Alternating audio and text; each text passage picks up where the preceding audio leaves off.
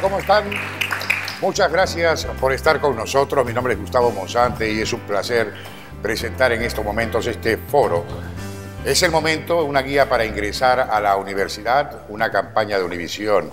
Y eh, como dice el Censo Nacional, eh, cada vez los hispanos, los latinos, somos una mayoría en este país. Dicho sea de paso, en Texas, en kindergarten a decimosegundo grado, uno de cada cuatro estudiantes son hispanos, son latinos. Conociendo que esa tendencia va a continuar, pues es un gran reto para las familias, para ustedes, padres de familia que nos están acompañando, así como para ustedes que nos están viendo en la televisión porque hay que envolverse en la educación. No solamente es el doceavo grado preparatoria, hay un reto más importante que es la educación superior. La idea del día de hoy es proveerles a ustedes con toda la información necesaria y los recursos para que puedan hacerlo. Ahora tenemos con nosotros, contamos con un grupo de panelistas tenemos con nosotros a la señorita Virginia Freire, que es ella eh, la encargada del programa de admisiones del Colegio Comunitario de Austin y vamos a conversar con ella justamente sobre los problemas que existen y los mitos que existen en la admisión.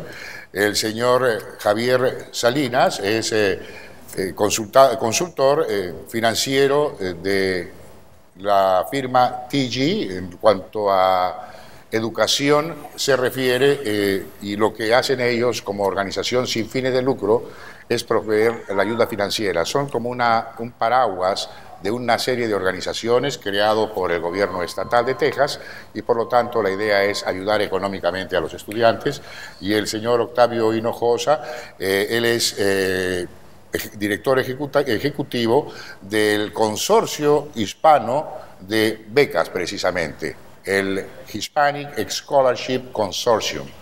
Él nos acompaña acá porque realmente una de sus labores principales es proveer de esta ayuda financiera sin fines de lucro a todos los jóvenes hispanos que quieran ir a la universidad. Hay mucha ayuda y de eso van a hablar los tres panelistas para quien pido un fuerte aplauso.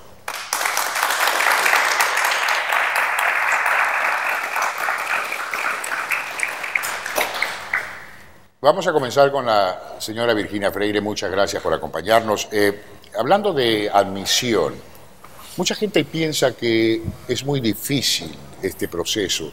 ¿Por qué no nos explica usted eh, eh, cuánto tiempo se consume en esto, qué recursos hay que emplear? Porque aparentemente muchos temen hacerlo por desconocimiento. Bueno, sí, Gustavo, yo diría que el proceso no es difícil, pero sí es detalloso es detalloso porque existen miles de universidades en este país. Y aquí solamente en Texas existen 47 universidades públicas, 43 universidades privadas y 50 distritos de colegios comunitarios conocidos como los community colleges. Y cada este, esta universidad o colegio tiene diferentes Requisitos, sí, requisitos, De, académicos, diferentes fechas de, fechas de vencimiento para, para entregar la, la, solicitud de admisión. Entonces, ¿qué es lo que debe hacer un padre de familia en estos casos cuando no sabe, por ejemplo, muchos probablemente no sabían de que en cada una de las universidades era un procedimiento completamente distinto? ¿Cuál es la mejor recomendación, por ejemplo, ver qué cosa es lo que quiere uno, si va a ser capaz de ir a un colegio o a una universidad y enterarse de los requisitos particulares de cada uno. Sí, claro. Y el proceso se empieza sinceramente en el grado 11. En el grado 11 es importante usar ese año escolar simplemente para investigar cada universidad, cada colegio y llevar un archivo personal en cada, eh, de cada esa universidad. Este, en el grado 11, 11 también se requiere tomarse el examen pre-SAT y ese examen se presenta, se ofrece en octubre. Y esa es la primera indicación que el estudiante da a las universidades en el país que está interesado en ingresarse a la universidad. Y las universidades empiezan a mandar folletos, libros, información. Porque ya entró a una base de datos. Sí, porque ellos ya, ellos también están interesados a reclutar al estudiante. A los buenos estudiantes. A los buenos estudiantes. Señor Javier Salinas, eh, conversábamos también de de los formularios que hay que llenar el señor Javier Salinas, la organización que representa ayuda financieramente. Por ejemplo, ¿qué tipo de formularios? Vamos a presentar, ¿por qué es importante llenar un, formulario de ayuda financiera? Es importante porque el proceso para recibir ayuda financiera empieza con un formulario. Ah, el formulario, al llenarlo, serás considerado para, para becas o subvenciones, en inglés se llaman grants.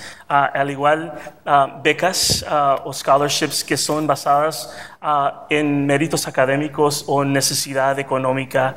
También hay un programa que se llama Trabajo Estudio, que también es dinero gratuito. Al igual, si esas becas no son suficientes para pagar a la colegiatura, también hay préstamos estudiantiles que puedes obtener. Así es que es por eso importante llenar este formulario. Eh, ¿Y la ayuda financiera es para ciudadanos, residentes e inmigrantes indocumentados también? Muy buena pregunta Gustavo. Hay, dos tipos de formularios. Ah, si es usted un, estudiante ciudadano de los Estados Unidos o residente permanente, el formulario que usted puede llenar es uno que lleva el nombre de FAFSA, F-A-F-S-A.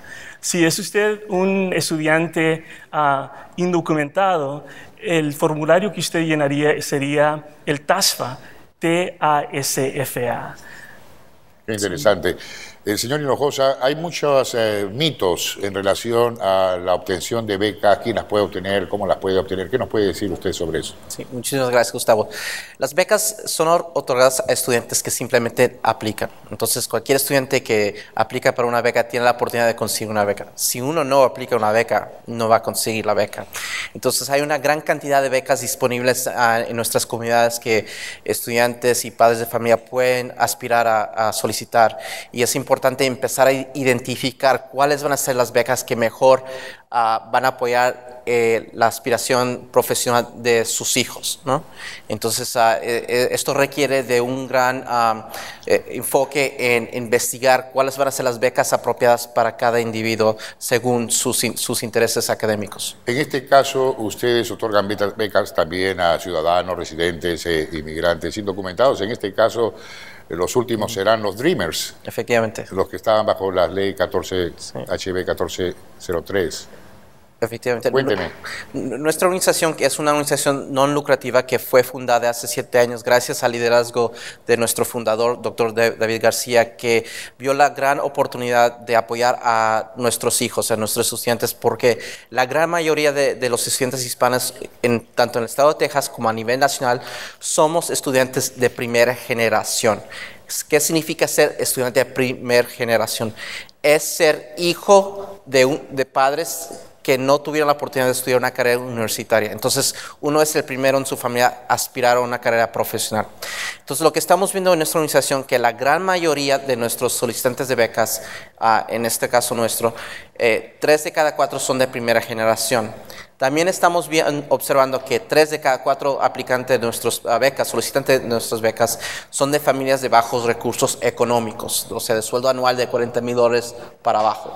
También estamos observando que dos de cada tres solicitantes son uh, mujeres, o sea, los hombres no están aplicando a las universidades y mucho menos a nuestras becas. Y eso es un gran, uh, nos causa gran preocupación porque hay que asegurar que hay un uh, balance de, de, género en nuestras universidades también. ¿Cuál es la diferencia entre TIG y el consorcio hispano de becas, por ejemplo, para diferenciar instituciones en este caso. Eh, eh, gracias. Como nuestra organización Hispanic Scholarship Consortium es una ONG, una organización sin fines de lucro, nosotros dependemos de la generosidad de nuestros donantes, tanto de individuos como empresas, fundaciones privadas, etc. Entonces nosotros recaudamos dinero para poder ah, luego ofrecer las becas a nuestros estudiantes. Entonces nosotros dependemos exclusivamente de la generosidad del individuo y del sector privado. No recibimos nada de dinero del sector público, es decir, de alguna ciudad o estatal, como en el caso de, que ha sido fundada por el Estado. Efectivamente. Muy interesante, privado y estatal. Eh, vemos que hay un gran interés en el estado de Texas por contar con una realmente educación superior en cada uno de los estudiantes, a pesar de ciertas polémicas que no faltan eh, en relación a los resultados de las últimas legislaturas, pero no estamos hablando en estos momentos de política. Eh, hablemos, sigamos hablando del proceso de admisión, eh, doctora Freire. acerca de las cartas de recomendación, una de las preguntas es, eh, ¿qué tipo de estudiantes deben pedir por escrito una carta de recomendación? Bueno, ¿Cuándo? Gustavo. ¿Por qué? Bueno, depende. Dije anterior que hay muchas, hay diferentes requisitos y hay universidades que requieren cartas de recomendación y hay muchas, la mayoría, que no requieren cartas de recomendación. Ahora, si el estudiante se siente obligado a, a obtener una, una carta de recomendación, yo le recomiendo al estudiante que se, que, que se ponga a pensar qué es lo que quiere que diga esa carta recomendación. Si, quiere el estudiante que la carta recomendación tome eh, toque el tema de académico del estudiante, entonces es importante pedirle una carta de recomendación a un maestro o a un consejero. Por ejemplo, en el caso del Austin Community College, ¿qué tipo de carta de recomendación piden que sea? Bueno, en el caso de Austin Community College, nosotros no, no pedimos carta de recomendación. o sea, tam- ok. Y también es importante distinguir el proceso para un colegio de admisión, para un colegio comunitario y para una universidad.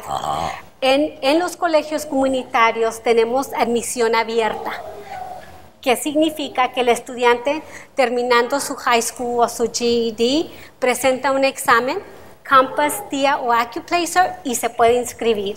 Punto. Y eh, pero el proceso para una universidad es más selectivo. Y hay universidades que tienen diferentes niveles de selección. Hay universidades como UT que tiene un proceso muy selectivo y hay universidades que tienen un proceso más o menos selectivo y hay universidades que tienen proceso abierto también. Y en el caso de TG, ¿cuál es el proceso para obtener una ayuda financiera? Bueno, en TG lo que otorgamos es información sobre el proceso. Ah, el proceso es dirigido por el Departamento de Educación. Así es que mencionamos que hay dos tipos de formularios, ¿verdad? El FASFA y la TASFA. El, el si tienes alguna pregunta, nosotros estamos disponibles 8 a 5 lunes a viernes am, para contestar cualquier pregunta. También tenemos videos am, que te enseñan a cómo llenar esos formularios también. Y los videos son bilingües, en inglés y en español. Así es que Javier, eh, le pregunté a, a Octavio Hinojosa sobre el Hispanic eh, Consortium. Háblame un poco de TG, para que conozca un poco más qué es, quién es TG. Está bien. ah, TG es una corporación ah, pública no lucrativa, ah, como has dicho, establecida por la legislatura del estado de Texas. Y nos estamos para ayudar a estudiantes a contestar cualquier pregunta sobre préstamos estudiantiles, al igual ah, sobre preguntas de cómo asistir a la universidad y cómo pagar para la universidad. Como yo he dicho, tenemos representantes ah, bilingües disponibles para contestar cualquier pregunta ah, que tengan. Y tenemos la oportunidad de ir am, por el estado de Texas dando presentaciones tal como estas para dar a, a las personas más información sobre este proceso, para asegurarles de que no es tan difícil, de que hay alguien que está disponible a ayudarles con cualquier pregunta que tengan. Nosotros estamos poniendo en pantalla también eh, las páginas electrónicas de, de estas instituciones que nos acompañan el día de hoy, porque es importante que usted también tenga acceso, que nos está viendo por televisión, eh, y también haga sus preguntas. Va a entrar a nuestra página de eh, univisionaustin.com y a través de nuestra página electrónica haga sus preguntas y le vamos a dar sus respuestas también. Eh, señor eh, Octavio Hinojosa, ¿cuándo un joven debe estar pensando en buscar una beca? Muy buena pregunta, Gustavo. Eh, un joven, yo recomiendo que empiecen la búsqueda de las becas lo antes posible, hoy mismo. En casa es importante pensar desde el primer grado de high school, lo que es el grado noveno, lo que va a ser la carrera del high school del, del- estudiante con el fin de llegar a una buena universidad. Ajá. Entonces, en el tercer año de high school, yo creo que ese es un momento ideal para empezar a hacer ah, solicitudes como de prueba, para empe- empezar a investigar cuáles van a ser esas becas que el estudiante va a tener que solicitar con, ah, con el mayor tiempo posible para O sea, poder... de esa investigación, es ¿cuánto me va a costar? Efectivamente, sí. ¿Cuánto me- ¿Y qué pasa si, por ejemplo, recibe la beca y después de los estudios ve que no le alcanza? Bueno, eh, las becas... ¿Se puede es- pedir una segunda ampliación? ¿Se puede pedir...? Puede, puede- depende del programa de beca. A veces hay becas que solo se pueden solicitar en una ocasión. Hay otras becas como la nuestra en, en que se pueden ah, solicitar nuevamente siempre y cuando cumplen con los requisitos mínimos de, ah, promedio de notas en servicio comunitario y, y otras condiciones. Pero es importante que los padres de familia realmente tengan una conversación con sus hijos y hablan sobre cuáles van a ser las becas que juntos como familia van a solicitar. Hay becas que uno puede solicitar gracias a los trabajos de los padres, de sus empleados. Hay, hay becas que uno puede solicitar por ah, ser de, de- de cierto origen, ¿no? Como en este caso nuestro ser de origen hispano-latino, ¿no? Hay becas que uno puede solicitar por eh, excelencia en deportes o por un enfoque de carrera como ingeniería, medicina, ah, derecho, etc. Entonces es, es, es importante hacer una evaluación de personal de cada individuo, cada estudiante, para que puedan ah, buscar las becas que corresponden a uno, ¿no? Claro. Algo me quería decir, Javier. Gustavo, algo ah, para agregar de eso, ¿verdad? La situación ideal es de recibir becas que cubran toda la colegiatura, ¿verdad? Pero des- de, desde- de vez en cuando no sucede así, así es que el gobierno federal, al igual el estado de Texas, otorga préstamos estudiantiles ah, para poder cubrir esos gastos que tal vez no se cubrieron con, con las becas. Am, es importante saber de que estos préstamos tienen una tasa de interés muy baja. Al igual, no se tiene que reembolsar hasta seis meses que termines ah, con, tu, con tus estudios. Y al igual, ya cuando empieces a pagar esos préstamos, si tienes alguna dificultad, también hay la oportunidad de, de deferir esos préstamos. Ah, y así es que les decimos esto porque muchas veces muchos padres o estudiantes van y, pagan su colegiatura tal vez con una tarjeta de crédito. Y es importante saber que al llenar este formulario FASFA o TASFA, es importante ser considerado para becas, ah, grants y luego becas escolares y luego ah, préstamos estudiantiles. ¿Quién es el- ¿Quiénes son los que mejor, eh, doctora eh, Virginia Freire, quiénes son los que pueden dar una buena recomendación a un joven que está en duda? Por ejemplo, ir al college, ¿hay alguien que lo puede atender y darle una respuesta de lo Oh. que necesita? O, o la mejor recomendación es ir a una página web? Bueno, la, o, la mejor... o- o al, o- o, perdóname, o al consejero de la escuela? Sí, creo que para los estudiantes que todavía están en, en la secundaria, la consejera de la escuela es una persona que tiene muchos recursos en respecto al proceso, el proceso de admisión, el proceso de la solicitud de la ayuda financiera. Este, so ese es un, recurso muy importante. También las universidades propiamente tienen representantes que están disponibles para hablar con los estudiantes y, los- y con los padres sobre el proceso. A eso iba a ir, los padres también eh, tienen que conocer, tienen que involucrarse. Para ellos es la misma, el mismo canal de información. Eh, Sí, exactamente. Ya. Y, y cuando es importante para los padres saber que cuando una universidad ofrece una sesión de información, no tengan pena, lleguen, vayan, atiendan a, la- a esa, a esa sesión de información, porque hoy en día están reconociendo las universidades y los colegios que el- la meta de ir al colegio no solo es, no solo depende del estudiante, pero también de la- del apoyo del padre. Don Javier, ¿hay programas de prepago? O sea, que, que- que ustedes financien y que se les pague de regreso. Ah, programas de prepago.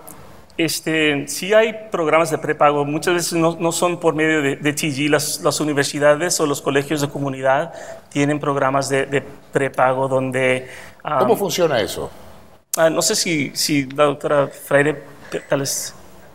Bueno, los, los programas de prepago, este, y yo creo que me te estás refiri- te estás refiriendo a Texas. Ir, ir- pagando la, la educación con, a- con anterioridad, con anticipación. Sí, el Texas Hay, algunas, Tomorrow hay unas Fund. universidades en que tú puedes pagar adelantado sin necesidad de estar pidiendo fondos. Eh, Me he salido un poquito del tema. Yo, yo no, yo no yo no estoy, este, no sé si hay universidades que, que toman este dinero eh, con, con anticipación para el estudiante, pero sí hay programas como el Texas Tomorrow Fund que eh, si el- los padres tienen recursos para ir juntando dinero para un fondo que se va, que se va a otorgar al final de, al final del- de, de high school, por decir. Existe eso. También existe este bueno, programas de, de, de, de pago. Si, si el padre o si los padres no tienen suficiente dinero para pagar la cuota de la colegiatura en ese semestre, entonces las universidades y los colegios también ofrecen este, cuentas para hacer pagos. Doc- eh, señor Javier Salinas, eh, ¿el Estado, como Estado, ofrece becas? ¿O El las Estado- hace siempre a través de instituciones como las suyas, por ejemplo? Um, el estado de Texas sí ofrece becas, ah, así es O que sea, ¿a través de otras instituciones o solamente a través de TG? este, son, son becas estatales, así es que mm, eh, si usted va a asistir a un colegio de comunidad, a una universidad del estado de Texas, el estado de Texas entonces otorga, trabaja con el departamento de finanzas de su universidad para otorgar este tipo de, de becas. O trabaja directamente con, con el estado y con la oficina ah, de, de finanzas. Eh, eh, Es importante reconocer que al llenar el formulario de la FAFSA, este, el estudiante es considerado para tres tipos de becas. Becas que vienen del gobierno federal, becas que vienen del gobierno estatal y becas que vienen de la, de la escuela propiamente. Entonces, para, ser considerado para todo ese tipo de dinero, este, tiene que uno que empezar con llenar la- el formulario de la FAFSA. Muchas gracias. Eh, vamos a pasar a hacer una primera pregunta de nuestro público. Eh, Leslie Montoya es la encargada de darnos esta primera pregunta, este primer invitado. Adelante, Leslie. Esta pregunta es para el señor Javier Salinas y es acerca de los eh, préstamos estatales. eh, si es que provee el Estado algún tipo de, de ayuda a los estudiantes y cómo hacer para obtener esta ayuda. Bueno, para obtener esta ayuda estatal hay que llenar el formulario, sea FASFA, si es ciudadano de los Estados Unidos, o TASFA, ah, si es ah, un estudiante no documentado. Y hay dos tipos de préstamos, el Cal Loan y el Beyond Time Loan. Buenas tardes. Ah, mi pregunta es, ah, ¿cuál es la, cuál es la diferencia, la diferencia de, de una escuela técnica de dos años o ir a estudiar a una universidad por cuatro años? La diferencia existe en el tipo de título que vas a recibir. En un colegio comunitario, en, una escuela técnica, se recibe un título de dos años conocido como el, Associate- el Associate's Degree o el certificado. En una universidad se recibe el título conocido como bachelor's, la licenciatura, la maestría, el doctorado. Entonces hay gran diferencia. Eh, La, la otra diferencia que quiero también explicar es que entre las, las escuelas que, técnicas de dos años hay también diferencia. Hay escuelas privadas que ofrecen títulos de dos años y es importante saber porque a veces esas escuelas privadas no están acreditadas por, las organizaciones que, que, que, acreditan a las universidades y a los colegios. Y cuando el estudiante se ingresa a una de esas escuelas técnicas que no está acreditada, no va a recibir crédito universitario al transferirse a una universidad o al transferirse a un colegio público como un community college. Aquí Pienso otra parte de tu pregunta. Al llenar ese formulario um, si tal vez no te has decidido a dónde quieres asistir, tal vez una escuela técnica, una escuela de comunidad de dos años o una universidad, este formulario te permite enviar esta información a varias universidades. Así es que ellos reciben estos datos. eh, cuando llenas esa solicitud, tienes que incluir ah, los impuestos, no solamente de los estudiantes, sino también del- de tus padres. Entonces, esta información va a estas varias universidades, el colegio, universidad, y entonces cada, cada escuela te va a enviar lo que denominan una carta de otorgación, ah, que te van a decir qué tipo de becas o préstamos te pueden ofrecer. Y entonces, al recibirlas, tú puedes decidir, mira, este me está dando tanta cantidad a comparado a esta, y puedes hacer una comparación y entonces así ayudar a tu decisión a dónde puedes asistir. Muchas gracias por esa pregunta, caballerazo. Y muchas gracias por estar presente, padre de familia, como todos los padres de familia que nos acompañan, porque es importante involucrarse con la educación superior de nuestros hijos, los hispanos, los latinos.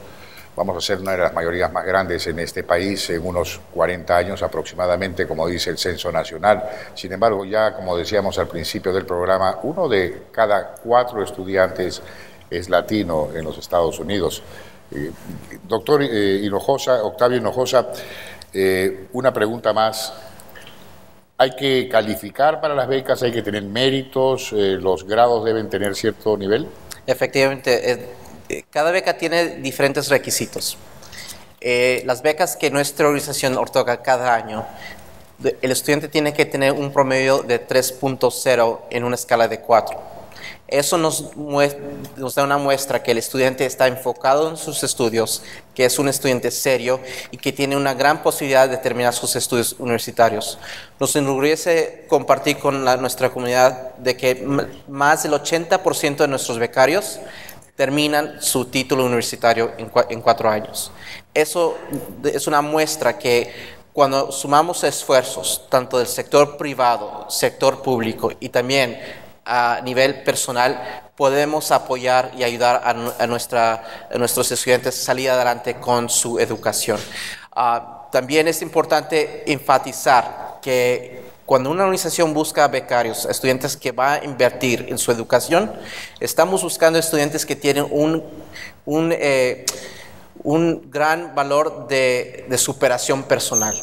Queremos estudiantes que a pesar de las dificultades personales, económicas, familiares que uno atraviesa, porque cada uno de nosotros hemos ah, pasado por esas ah, dificultades, el estudiante tiene que demostrar que tiene un gran nivel de, de superación El para hecho de- poder el derecho de ser voluntarios, eh, de ser parte de la comunidad, de volverse en programas comunitarios. Efectivamente, Imagino vos- que esas cosas son requisitos que So- ustedes so- van a buscar, así como las universidades y los colegios, ¿no? Así es, eso es clave porque lo que nosotros también buscamos es estudiantes que trabajan como voluntarios, que son líderes en su comunidad, ya sea en las escuelas, en la, en, en la iglesia o a nivel comunitario, porque queremos que nuestros becarios devuelven lo que nosotros estamos invirtiendo en ellos, que sean ejemplos en nuestra comunidad, no solamente para sus hermanos que viven en casa con ellos, sino ah, para otras generaciones. ¿Cuántas becas han dado ustedes en, en el lapso de vida? De vida, muy buena pregunta. Desde que se fundó HSC en 2005, hemos otorgado, ya hemos superado un millón de dólares de becas a nuestros estudiantes. Hispanos. Hispanos. Y los resultados. Los resultados hablan por sí mismos. Más del 80% de nuestros becarios han terminado sus es- estudios univers- universitarios. Ahora tenemos ya estudiantes que Ese- están... ese- y ese otro, ese otro que no terminó, ¿qué pasó con esos fondos que ustedes dieron? Con los otros 20, Claro, cuando me habla de que el 80% terminaron, hay 20 que no cumplieron, pero se les dieron el dinero. ¿Qué pasa? Eh, sí, hay estudiantes que siguieron con sus estudios, pero como no cumplieron con nuestros requisitos, ya no los incluimos en nuestro... ah, ¿Ya no qué? Ya no, ya no se incluyen en, nuestro, en nuestras estadísticas. Ya no O incluyen sea, en porque tienen que cumplir con nuestros es requisitos como un mínimos. castigo a, a- a- Efectivamente. a- o sea, fallado ese compromiso, porque es. para todo hay que tener un compromiso. Ah, Las decisiones se toman bien tomadas. así es. Eh, yo creo que es el momento de cerrar el programa y quiero agradecerle a ustedes, señores panelistas, el haber estado con nosotros en este foro comunitario. Es el momento, guía para ingresar a la universidad, un, eh, un compromiso de Univisión y gracias también al apoyo de TG, que ha sido eh, prácticamente uno de nuestros presentadores, al señor Octavio Hinojosa, Javier Salinas con TG y a la doctora Freire. Muchas gracias por acompañarnos, Virginia Freire con el Austin Community College. Muchas gracias a ustedes también por habernos acompañado. Como siempre, que pasen muy buenas noches.